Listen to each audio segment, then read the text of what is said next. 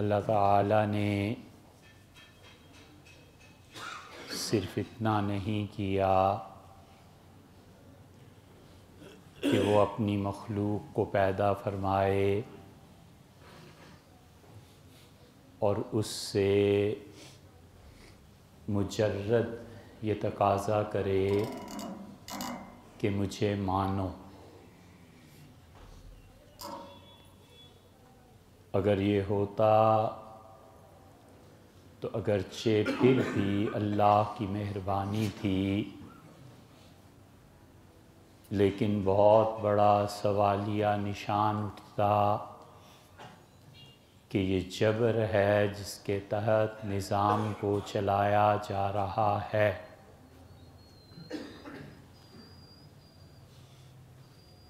اس نے سمجھایا بہت شفقت اور محبت سے اور اس نے کہا کہ دیکھو، مجھے مانو۔ اور اس ماننے کے لیے جو دلائل تمہیں چاہیے، میں وہ بھی فراہم کر دیتا ہوں۔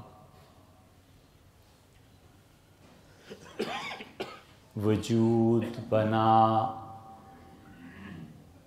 انسان کے شعور نے ترقی پائی، روح عالم امر سے لائی گئی اور عالم خلق اور امر کو الگ کر دیا گیا۔ اس وجود اور شعور کے ساتھ ایک چیز ڈال دی گئی۔ اور اس کو فرمایا کہ وہ نفسم و ما انسان کے نفس کو اس کے اندر رکھا۔ فالحمہ فجورہا و تقواہا اور کچھ لوگ تھے جنہیں اللہ نے فطرتاً ہدایت دی اور وہ تقوی کے سمندر میں غرق ہوئے۔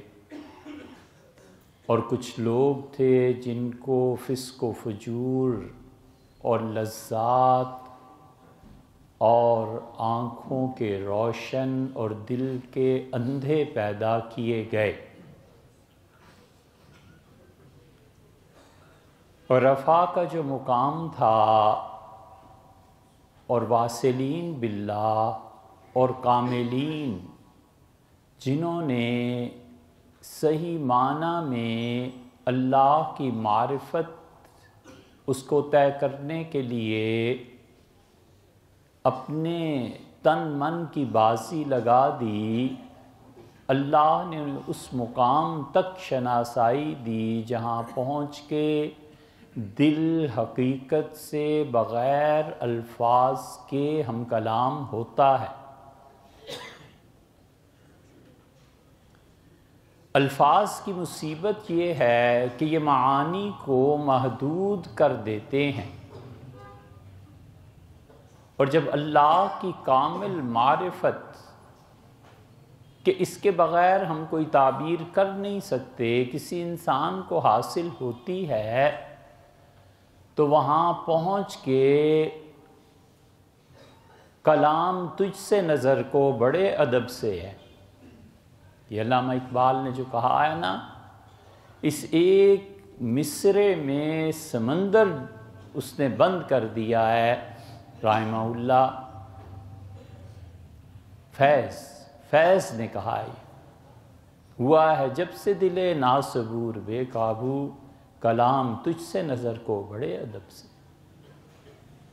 جب معرفت انسان میں فطری طور پر شعور کے درجے تک پہنچتی ہے، تو پھر اللہ سے شناسائی اور اللہ سے مناجات اور حقیقت تک رسائی الفاظ کی محتاج نہیں رہتی اور دل خود اس سے کلام کرتا ہے بغیر الفاظ کے اور معانی تک پہنچتا ہے۔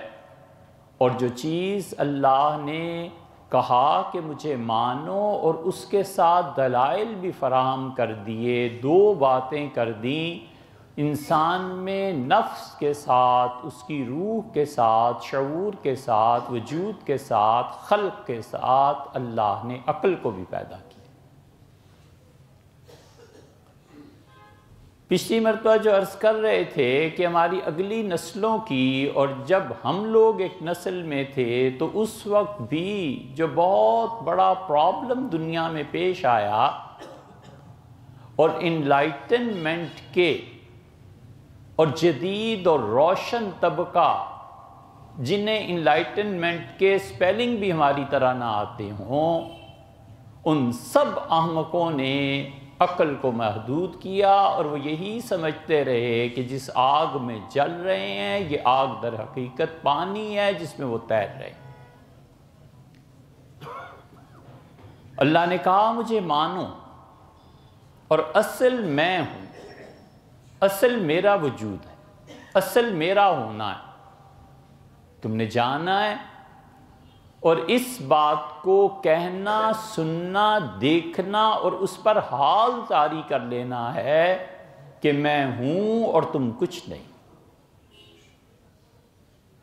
اس عقل کی ایک قسم بنا دی اور کہا اچھا ہم بہت مہربانی کرتے ہیں، بہت احسان فرما رہے ہیں کہ تم اپنی عقل سے اشیاء کا تجزیہ کرو۔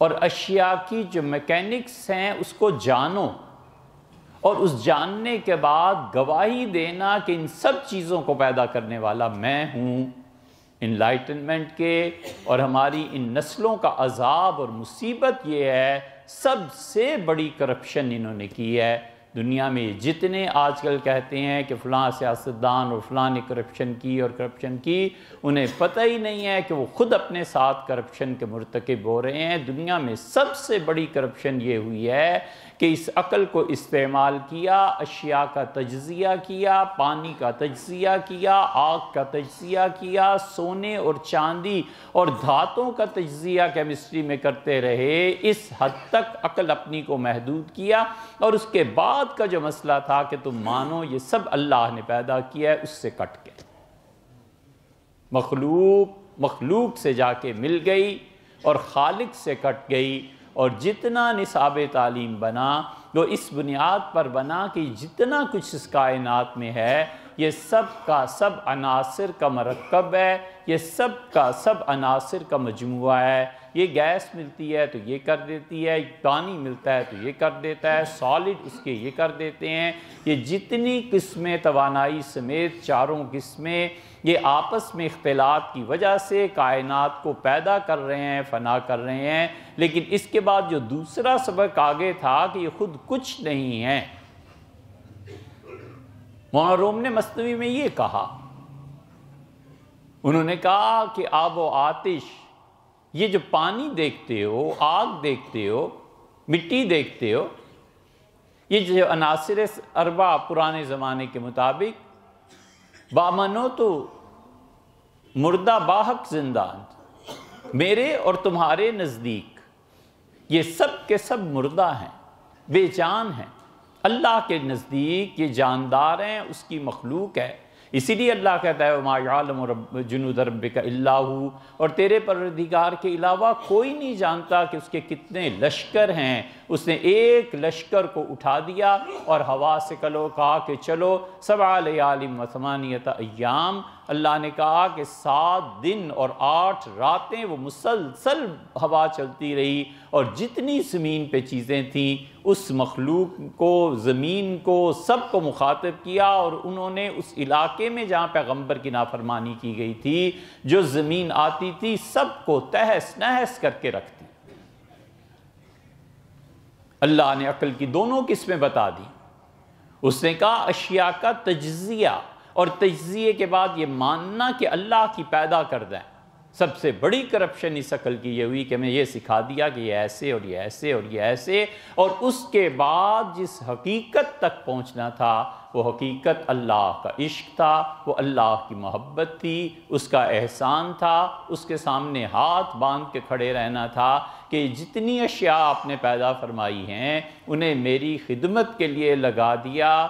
کیا کیا کیا آپ نے احسان فرمایا اور مجھے صرف اپنی معرفت کے لیے چھوڑ دیا اور طلب اور پیاس رکھ دی، یہ وہ حقیقت ہے جو دنیا کی نگاہوں سے اب اوجھل ہو گئی۔